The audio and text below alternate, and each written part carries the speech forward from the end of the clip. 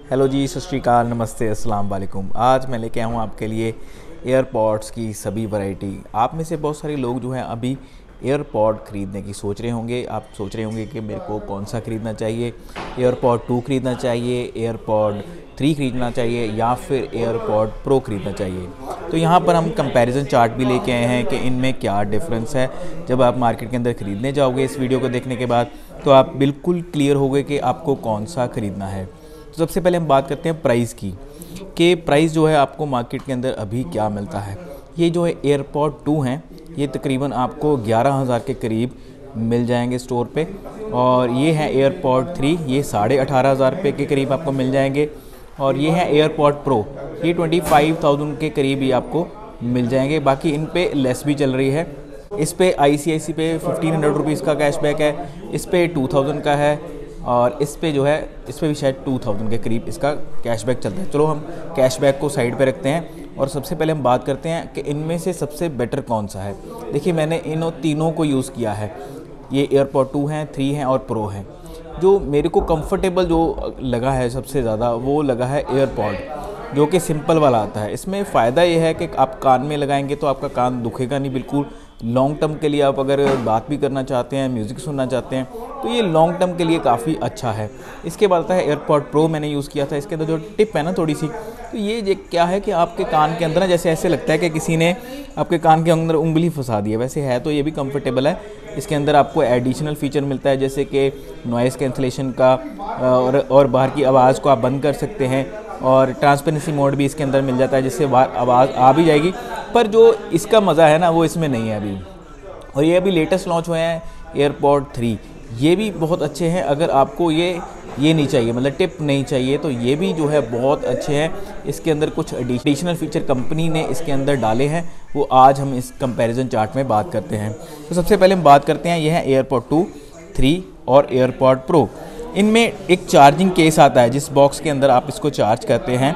वो एक बॉक्स जो आता है वो इसके अंदर वायरलेस है। इन दोनों के अंदर वायरलेस है। थ्री और प्रो के अंदर जो है यहाँ पर वायरलेस है। मतलब कि अगर आपके पास वायरलेस चार्जर है तो इन दोनों को चार्ज कर पाएँगे, पर इसको नहीं कर पाएँगे। इसमें भी आता था तो वो काफ़ी महँगा पड़ जाता है। उससे बेटर जो है आप एयरपॉड थ्री खरीद लेना। टॉक टाइम की अगर हम बात करते हैं तो सबसे ज़्यादा आपको टॉक टाइम मिलेगा एयरपॉड थर्ड जनरेशन में सिक्स आवर्स का। इसके बाद जो है आपको एयरपॉड टू के अंदर फाइव आवर्स का और जो एयरपॉड प्रो है, इनमें सबसे कम मिलेगा साढ़े चार घंटे का। क्योंकि इसके अंदर क्या होता है एक्टिव नॉइस कैंसिलेशन जो है, वो चलती है, जिसकी वजह से इसका बैटरी बैकअप थोड़ा सा कम है।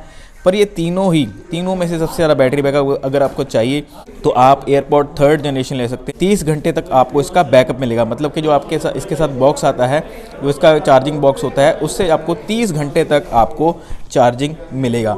उसके बाद यहाँ पर बताया गया है कि अगर आप इसको चार्ज करते हैं पाँच मिनट तो एक घंटे तक आपको लिसनिंग टाइम मिलता है। ये बराबर ही है तकरीबन यहाँ पर लिखा है, पंद्रह मिनट में तीन आर, वही बात सेम ही हो गई है। इसके बाद आता है जी कि ये वाटर रेजिस्टेंट है मतलब कि जो मतलब कि जो एयरपोर्ट थर्ड जनरेशन है और एयरपोर्ट प्रो हैं, ये दोनों स्वेट एंड वाटर रेजिस्टेंट हैं।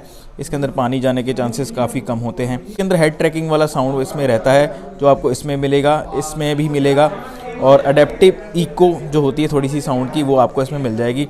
बाकी ट्रांसपेरेंसी मोड और एक्टिव नॉइस कैंसिलेशन जो है वो सिर्फ़ और सिर्फ़ एयरपॉड प्रो में अगर आपको ये चीज़ चाहिए तो आपको एयरपॉड प्रो ही ख़रीदने चाहिए।